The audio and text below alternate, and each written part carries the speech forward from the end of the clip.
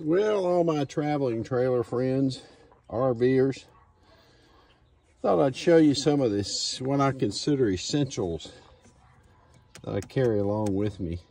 And I'd like to compare notes. The first thing is this vital air source I bought. This thing is a, can be battery operated, portable air compressor basically. Uh, you can hook it up to your battery on your vehicle and uh, boy can air up even huge class A RV tires. And so I carry that along with me. Uh, so that if it, for any reason I need to air up any tires vehicle um, RV I've got my own air source. Everybody probably carries tie down so I've sorted them out uh, all the buckles and the clips and so forth. Something else I carry along with me is my charger. I actually carry an impact wrench. And what I did is uh, with my impact, I have the battery pack, an extra battery pack charger. And I went around and uh, to determine the necessary socket sizes uh, that I might need on the road at any given time to like remove the tires on both the trailer, which in my case is my little casita here, or tires on my 4Runner, which is the tow vehicle.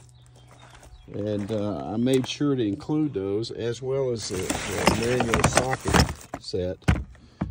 Uh, that's well greased. But uh, here's a socket wrench, big old socket wrench. But I also carry that impact with me. This is miscellaneous. You guys probably all carry extra fuses with you. But I also have some extra HUD material in here if needed. I carry my original uh, Casita manuals uh, for reference purposes. And I always carry my surge protector. This is one of the best investments I ever made.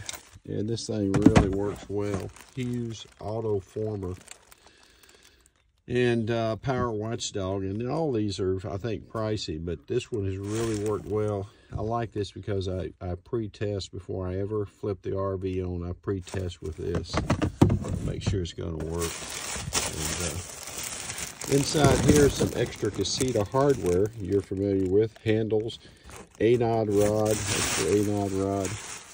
My chucks, of course. Tire pressure gauge to check my tire pressure these dog bone adapters. My TST tire pressure monitoring system. These are spares uh, for my Casita.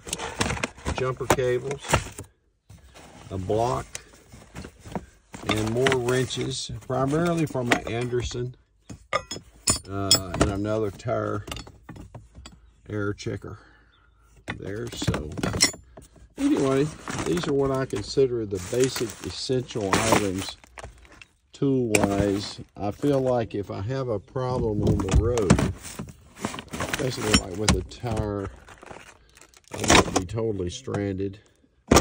I could uh, zip off, zip on a new one pretty quick, especially with that impact. That impact wrench is a lifesaver, back saver too.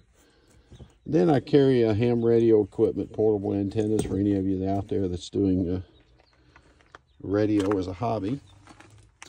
And then I picked this up. It's a complete tool kit.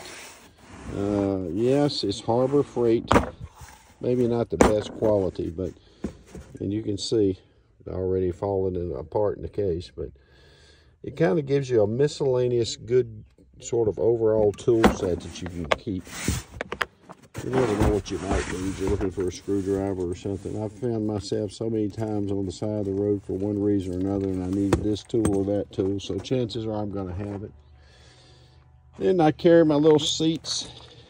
I'm sure all of you have your portable seats stored either in your tow vehicle or in your camper somewhere.